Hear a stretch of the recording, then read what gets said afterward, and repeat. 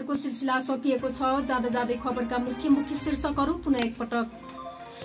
स्याउलीबाङ चौतराको एक घरमा आगो लागि जग्गाको लाल पूर्जा र नागरिकता समेत जलेर नष्ट। राष्ट्रिय अपाङ्ग सेवा संघ प्युठानको समन्वयमा ओठ तथा तालु फाटेका बिरामीहरूको निशुल्क शल्यक्रिया गरिने। जिल्लामा चोरीका घटनाहरू दैनिक बढ्न थालेको भन्दै चोरीमा संलग्नलाई कानूनी दायरामा ल्याउन अखिल नेपाल युवक संघ जिल्ला कमिटी प्युठानको माग। बहुविवाह मुद्दामा फरार एक महिला करिब चार वर्षपछि पक्राउ।